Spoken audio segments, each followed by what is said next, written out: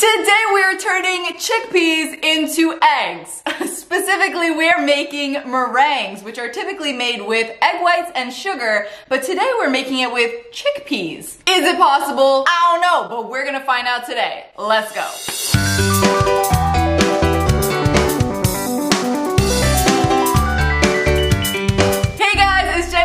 And welcome to my channel. We are going to be making, like I said before, meringues out of canned chickpeas. I heard that it's possible, but I seriously doubt it. So we're gonna test it out and see if it actually works. You guys loved the video where I turned flour into chicken, so I decided to bring you guys another one of these kind of videos of turning one food into another. So let's get into it, shall we? So here's what you're gonna need. One can of chickpeas, sugar, and some xanthan gum. You're also going to need a hand mixer, but I don't have a hand mixer. All I have is like a little bullet blender, so we're gonna be using that today. The important part is just that we incorporate enough air into the meringue so that they're nice and fluffy. What we need from our can of chickpeas is not necessarily the chickpeas themselves, but, ooh, okay, the chickpea water.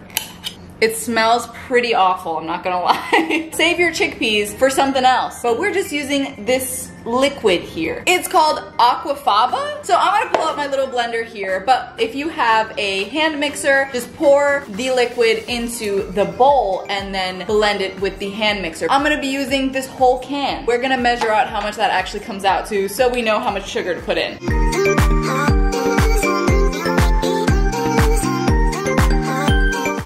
Leftover chickpeas, you can make anything else with it. You can check out my recipe that I have on making a vegan tuna salad out of chickpeas. I'll link the video up here and in the description below, so check that out.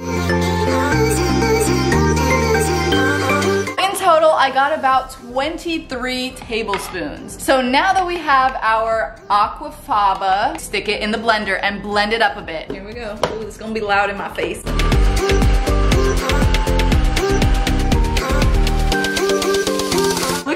Foamed up. This is crazy. Look at that. Wow. All right, time to add the sugar.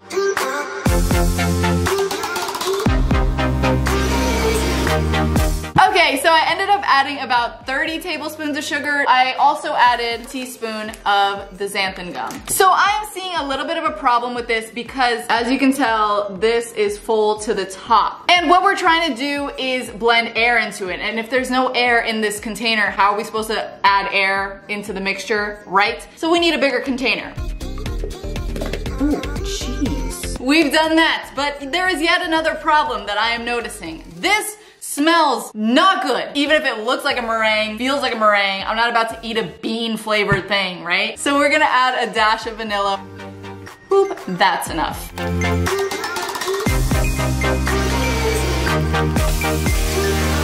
I just took this out of the blender and look at this, you guys. Ooh, I don't know what that is. I don't know about this. It smells like beans and a hint of vanilla. But ooh, Jesus himself needs to bless this thing because right now it needs a lot of help. I have this baking sheet that I've lined with some tin foil and I'm gonna grease it with a little bit of coconut oil. And then we're going to scoop and place this onto the pan.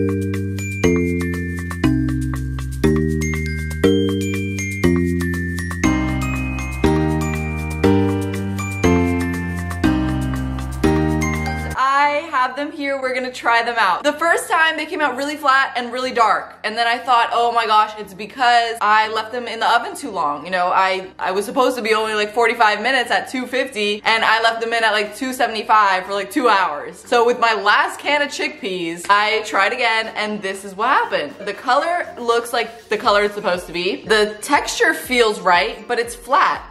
This is how they came out. Looking flat as heck, kind of bubbly. I used a blender, so obviously you weren't supposed to use a blender, you're supposed to use like a hand mixer. Or it could also be maybe I put too much sugar and maybe that like weighed it down and so they flattened out. Let's try it and see if it even resembles a meringue. Let's see if this works. Oh shoot.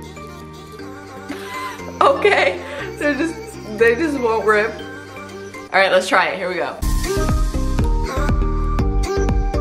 Wow, that is amazing. This really tastes like a meringue. To say I am shocked is an understatement. Obviously, it came out flat, so it's not as airy and light as a meringue usually is. If I had all the right tools, it probably would have worked better. The outside parts are like exactly like a meringue. Well, you heard it here, guys. It works. You gotta try it. You gotta let me know how it comes out for you, especially if you have a hand mixer. Thank you so much for watching. I hope you guys love this video, and I hope you enjoy this recipe. Try it out. Let me know how it goes when you do. Make sure to hit the thumbs up button and also hit subscribe if you haven't already. I put out a new video every week on Wednesday, so I'll see you guys again next Wednesday. Bye!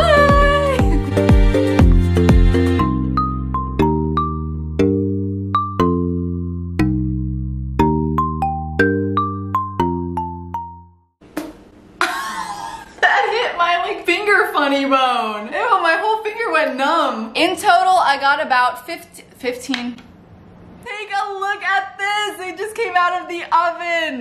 The oven?